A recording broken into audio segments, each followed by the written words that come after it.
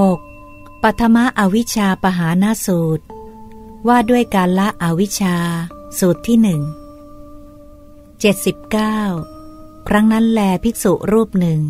เข้าไปเฝ้าพระผู้มีพระภาคถึงที่ประทับ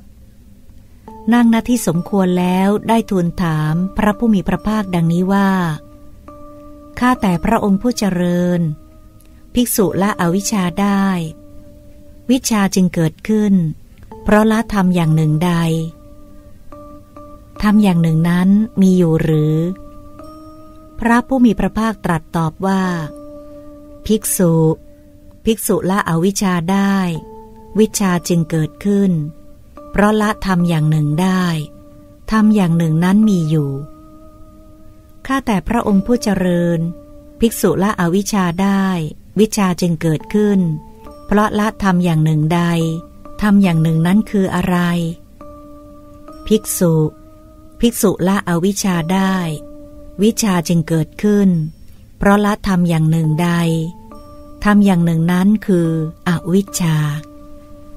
ข้าแต่พระองค์ผู้เจริญ ภิกษุเมื่อรู้เห็นอย่างไร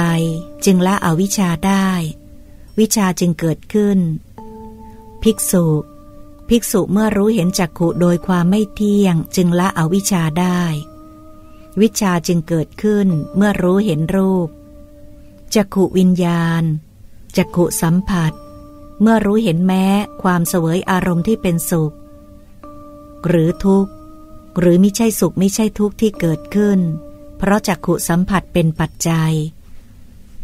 โดยความไม่เที่ยงจึงละอวิชชาได้ วิชาจึงเกิดขึ้น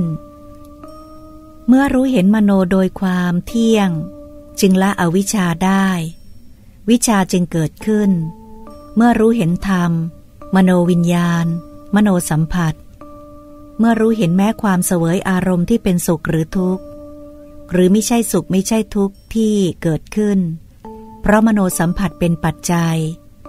โดยความไม่เที่ยงจึงละอวิชชาได้ วิชาจึงเกิดขึ้น ภิกษุ ภิกษุเมื่อรู้เห็นอย่างนี้แลจึงละอวิชชาได้ วิชาจึงเกิดขึ้นปัทมะอวิชชาปหานสูตรที่หกจบ